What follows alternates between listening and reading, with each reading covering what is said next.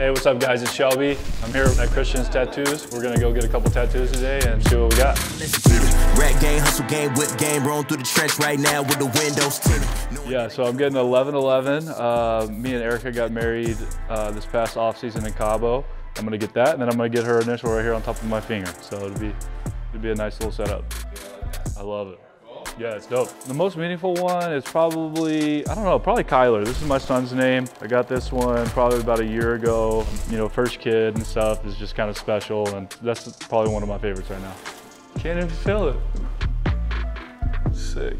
How many other tattoos do you have? I think I got like 11 of them right now. This is gonna make 13. They're kind of, you know, small and kind of hidden and stuff, so they're, they're a little sneaky. You, you can't see them all, but all have a lot of meaning to them.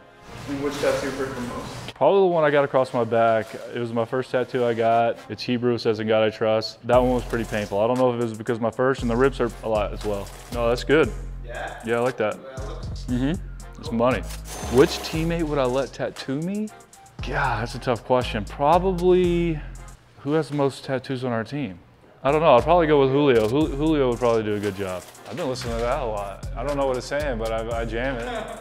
So all the all the guys on the team, mostly the Latin guys, will call me Peso Pluma. Um, they say I have same facial features and stuff, so they called me, you know, Peso Pluma, and I and now walk out to one of his songs. Junior the Barber is the one who recommended it, and I ran it by all my teammates, and they were like, definitely do it, and here we are. If he comes, I got to meet him. So.